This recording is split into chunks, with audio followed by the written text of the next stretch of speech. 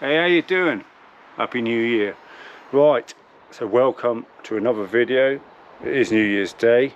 Just show you this bit of wood here, bit of ash I picked up. They were cutting them down. I don't know if it's got ash dieback or not.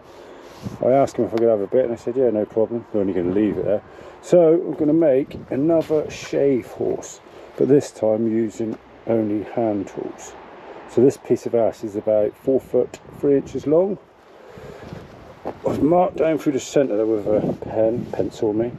I'm going to try and score that with the axe and then split it down through using these wooden wedges here. Anyway, so I'll get the camera set up and we'll have a go. Cheers.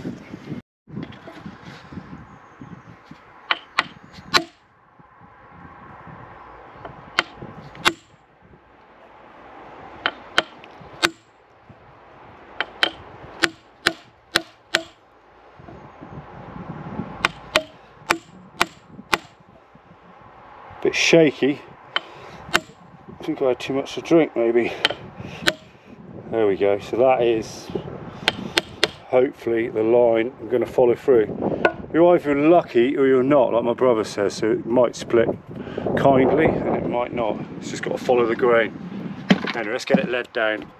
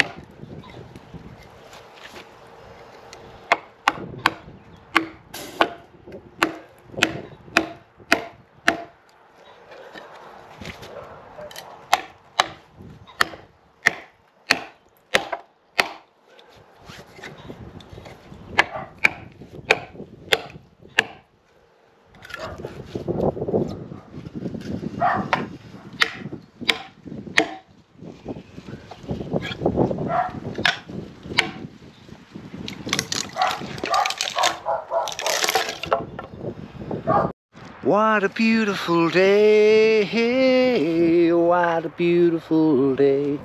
Morning everybody, what a day compared to yesterday. Um, let's get me shadow out of it. So this is the best one of the two. I'm going to take all the bark off with the draw knife and then try and straighten the sort of bed up because it's a bit twisted where it's followed the grain. Anyway, just look and learn, hopefully.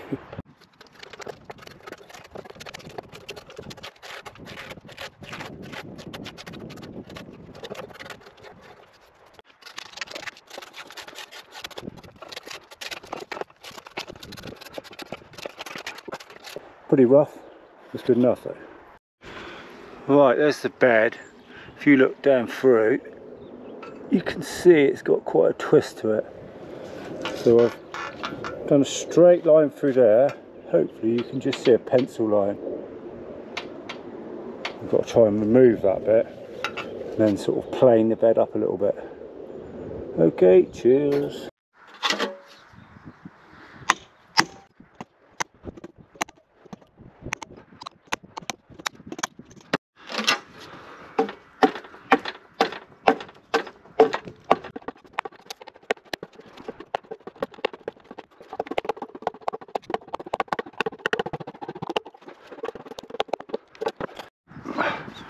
Reet, I'm just going to tidy the bed up with the draw knife before I mark it out to cut it up in the right dimensions.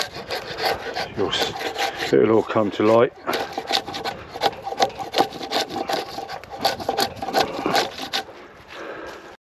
Right, let's get myself out of the sun. Hopefully you can see a centre line. I've gone three inches either side of that. So that's going to be six inches. Ain't much to cut out really. Hopefully I'll be able to do it with a small axe. This is a lot smaller than the um, two shave horses I've made before. Mainly because it's a smaller bit of timber. That's all I could get. Anyway, catch you in a bit.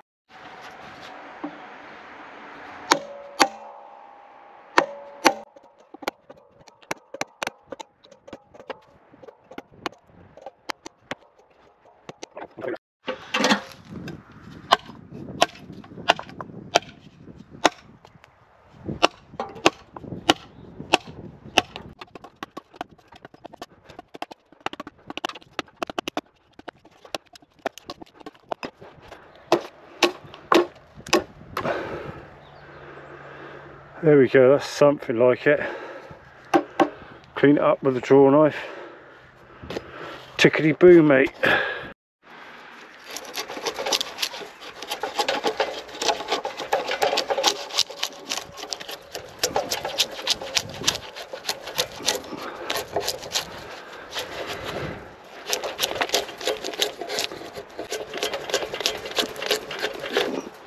There you go, to the other side.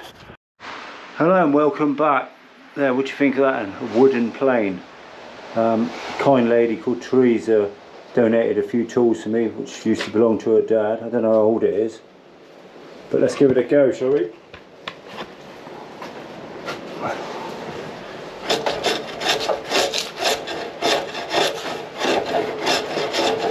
Well, I've taken the blade out and sharpened it up.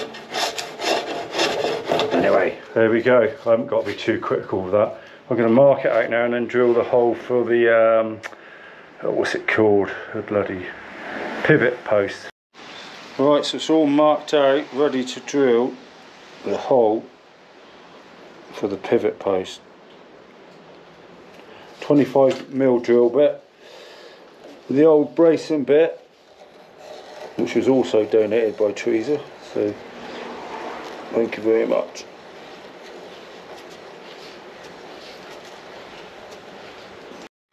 Right, let's try it again.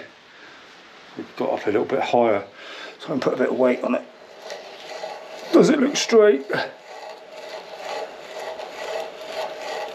Right, let's speed it up.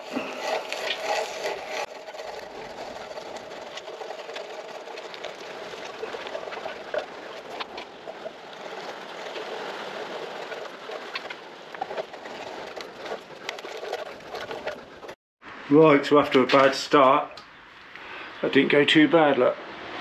Not far off the mark, just guessing. Anyway, I'll turn the drill around and do the other side. Well, I just want to show you this little bit of kit I've made.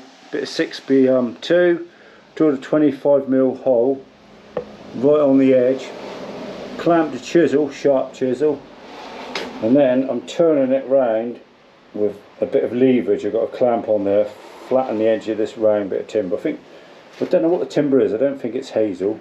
Anyway, it's near to, it's near enough to the right size anyway, so you haven't got to take a lot off. Let's just show you instead of talking.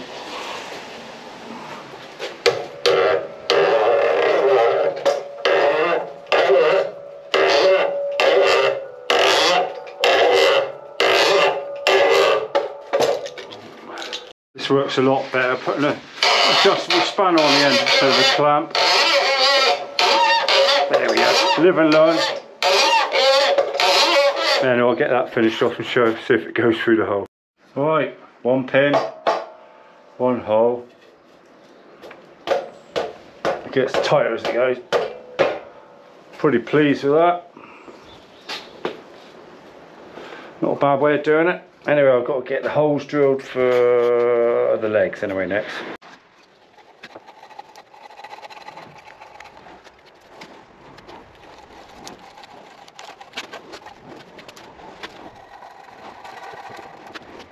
Right, so welcome back. This is going to make the pivot arms. Going to make two out of this one piece of hazel. Straight that way, curve that way. I've got, see it, hold on. The horizontal line mark there. I've drilled, or started drilling out. That's the middle pivot pin, top pin, and the bottom pin where you push your legs against. So I'm going to finish drilling them out and then try and split it to make two out of one. So wish me luck.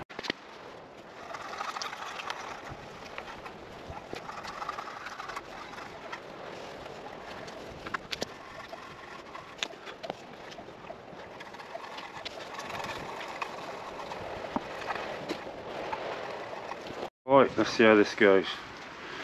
Hopefully you can see it. Middle of the road. And just a smidgen over.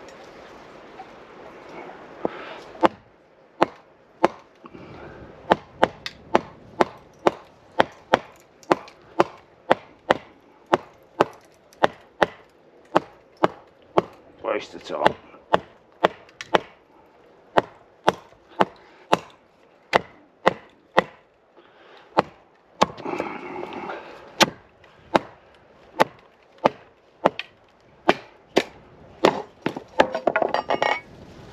Well, that was a waste of time. Look at the twist on that.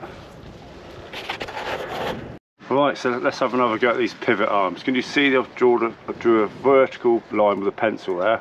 I'm just flattening the edge off both sides with my shave horse that I built a year or so ago. But it's still a hand tool, so I'm not cheating, I'm not using any power tools. You don't have to flatten this off.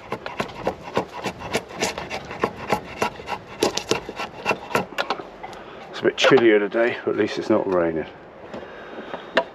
There we go, keep that line roughly upright.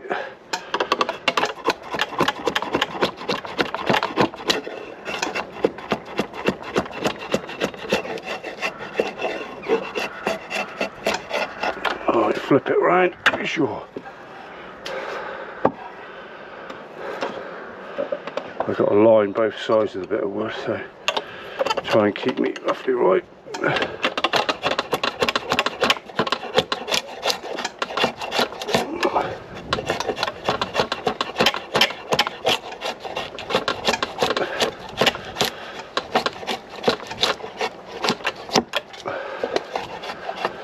Something like that. Flip it over to the other side.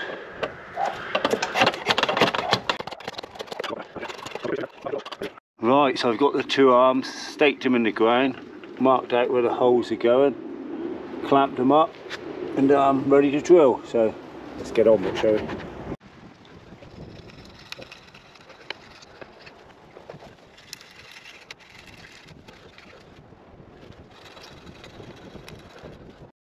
Right, so I've drilled through to the other leg and marked it. Just got to finish off drilling this. Good thing about hand tools is they don't make any noise. And it's Sunday morning.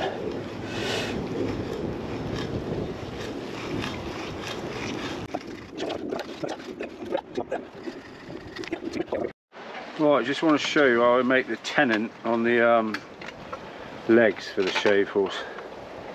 So we've got the bracing bit, middle of the road. Oh, just score it like with a sharp drill. I will add. Hold on, pencil. Just do the outline like eyeliner. Not that I wear eyeliner. Well, not that I tell anybody. Bring it back. And just work it down to your marks.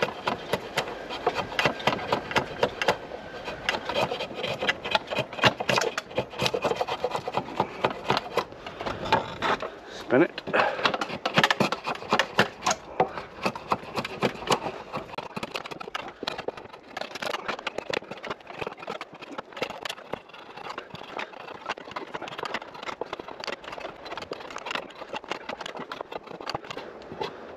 Right. Hopefully should fit in my dowel making machine.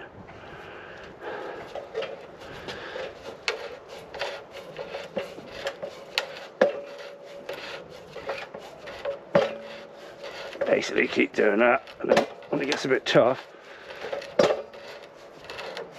when the going gets tough get back on your shave horse and just take a little bit more off until you've got two and a half inches I suppose That's probably what I'll drill into the bed.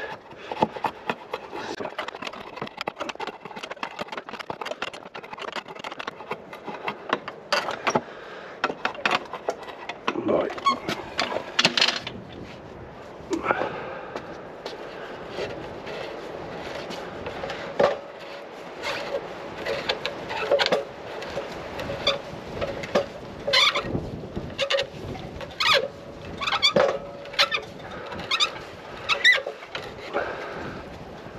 There it is basically, tidy that up with your draw knife. You got a nice tenon. Right, let's see if I can split this down through.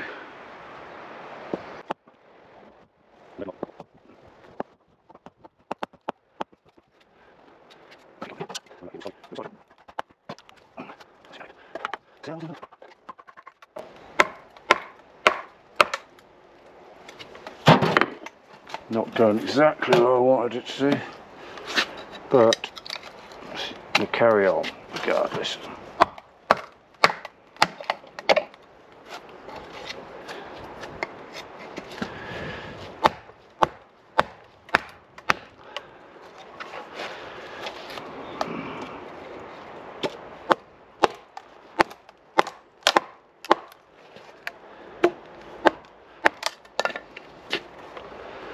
Yeah, it's going off a bit. A bit like me.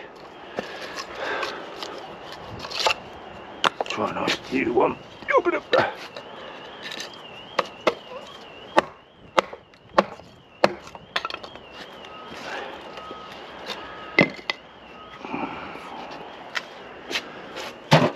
I have got a throw axe. Right. Right, so can you see that line?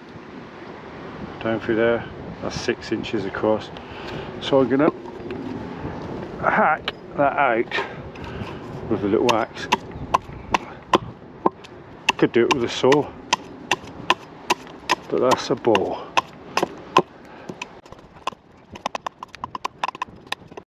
Right so I'm just shaping it up a little bit with the axe. Six inches wide. It's a little bit twisted but trying to straighten up with the axe hopefully. It's quite windy and I've got a new thing on my GoPro I think it's a media mod or something which is meant to help with wind noise so we'll see how this turns out.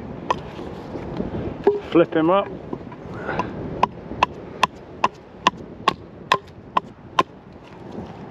Right, so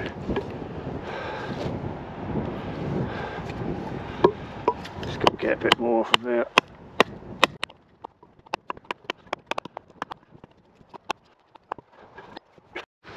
So there we go folks, that's all in there ready. I've got a drill two holes there, made some little wooden dowels.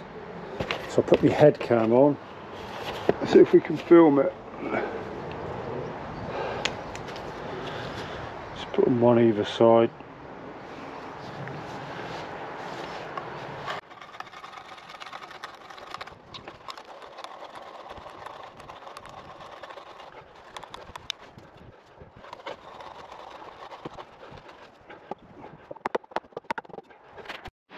Right, so let's see how quick I can put it together.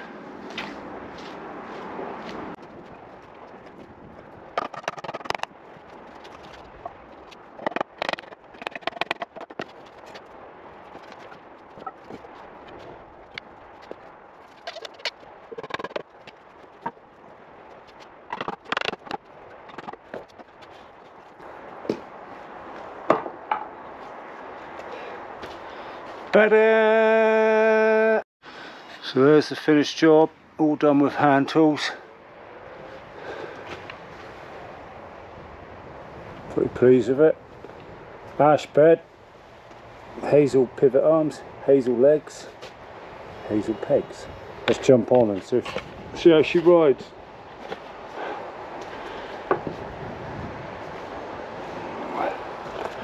Nice bit of green wood always helps.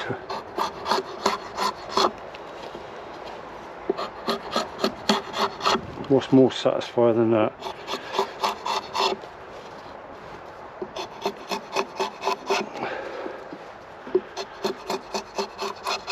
So even though I've already built two shave horses, just wanted to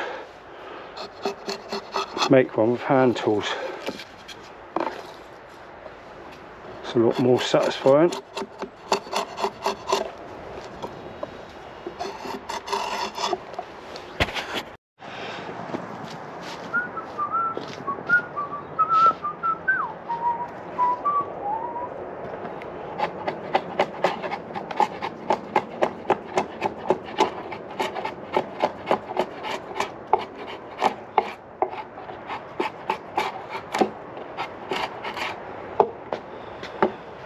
Go folks, one Bodger's shave horse made with only hand tools.